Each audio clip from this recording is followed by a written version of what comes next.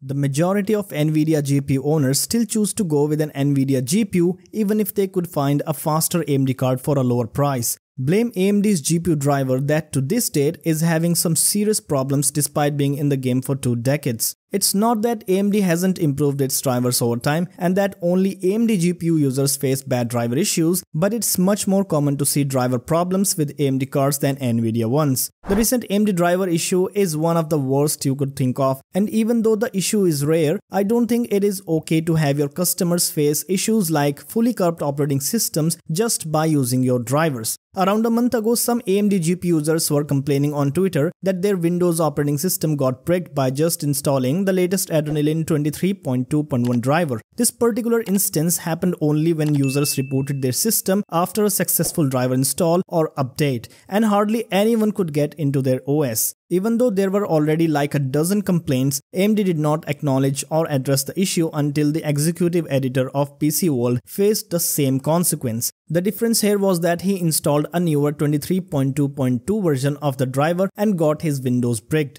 Fortunately, being the executive director of such a large publication helped him get the response from AMD in a few minutes and AMD issued this statement. It said that they recommend users to pause any Windows updates before installing the driver and unchecking the factory reset option in Adrenalin software because this issue only occurred when the users installed or updated their AMD drivers while Windows was updating in the background. Both Windows 10 and 11 are affected by this problem, so if you are using an AMD GPU, make sure to stop any Windows updates before you install the newer Adrenalin driver. I hope that AMD fixes the issue soon just like Intel is fixing various issues with its ARC drivers. So far Intel is seen to be fixing a lot of problems in its GPU drivers which were pretty bad a few months ago. One of the most important fixes was to lower the idle power consumption of ARC GPUs that were consistently consuming 40 plus watts with no load whatsoever. Even though Intel provided some steps to fix the problem last year, the problem of higher GPU usage still remained a problem with the multi-monitor setup, which is quite normal but it should have been a little lower. Thankfully Intel has fixed the problem with its latest 4146 driver which should do better this time. It does not fix the problem 100% across all monitors but with this driver update you can now at least bring down the power consumption significantly if you are using dual monitors with resolutions including ultra-wide 1080p and 900p simultaneously. With the previous driver versions, the ARC GPUs would easily consume 40 to 50 watts but with this latest one, the power consumption comes down to less than 10 watts which is impressive. I think now Intel needs to work on bigger resolutions here because most dual or triple monitor setups use at least dual 1080p monitors which are not covered under this fix. Moreover, you also have to consider the refresh rate of your monitor because this update does not fix high power consumption issues if your monitor has a refresh rate higher than 60Hz. Note that Intel GPUs are not the only ones that are facing high power consumption issues in an idle state, but this problem is supposedly also there with Nvidia and AMD graphics cards. The only difference difference is that those GPUs are somewhat better on higher resolutions, but I think Intel is not that far away.